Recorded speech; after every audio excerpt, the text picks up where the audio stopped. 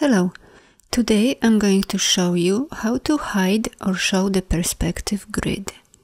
To show the grid, click on the perspective grid tool or press the Shift and P buttons on your keyboard.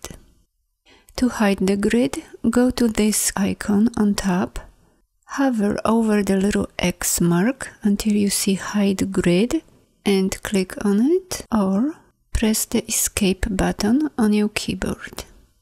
Another way you can do it is to go to view, perspective grid and select show grid or view, perspective grid and hide grid.